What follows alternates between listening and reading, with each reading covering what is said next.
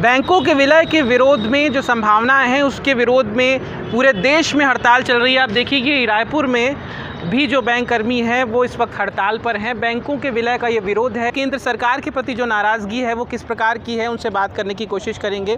आ, sir ये जो आ, जो हड़ताल चल रही है उसको लेके आप लोग का स्पष्ट रुख क्या है कि केंद्र सरकार की किन नीतियों से आप नाराज़ हैं? ये हड़ताल जो है हमारे मर्जर बैंक की केंद्र विरोधी नीति जो है, मर्जर, उसके खिलाफ़ है। और इससे मर्जर की स्थिति में बैंकों का विलय हो रहा है, जिसमें से अभी 10 बैंक से चार बैंक और हो जा रही है। और इस प्रकार से बेरोजगारी और बैंक का जो स्थापना एक्सेस जो है, उसको कम करके ये किसी भी तरीके से सोच रहे हैं कि हम बैंक को कम करें। अभी हम लोग आए तो हम देख रहे थे कि अभी नारेबाजी भी कर रहे थे केंद्र सरकार के खिलाफ। वो किस प्रकार की नारेबाजी थी आप लोगों की? नारेबाजी देखिए आज का जो एक नंबर का जो एजेंडा हम लोग का है मर्जर के खिलाफ है। बैंक मर्जर सरकार का एक तरफा डिसीज़न है।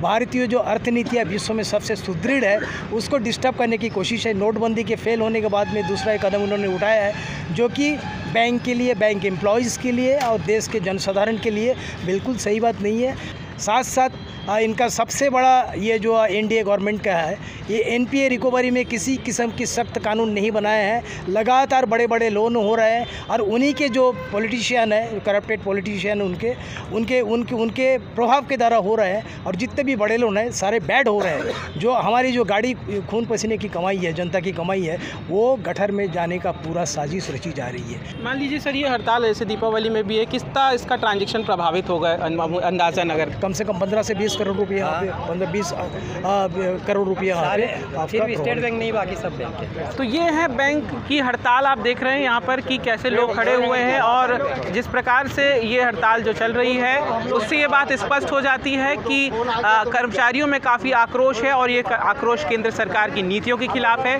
अब देखना ये भी होगा कि दीपावली के वक्त जिस प्रकार से ये हड़ताल आई है उसका असर क्या देखने को मिलता है। स्वराज एक्सप्रेस के लिए रायपुर से धीरेन्द्र गिरी गोस्वामी।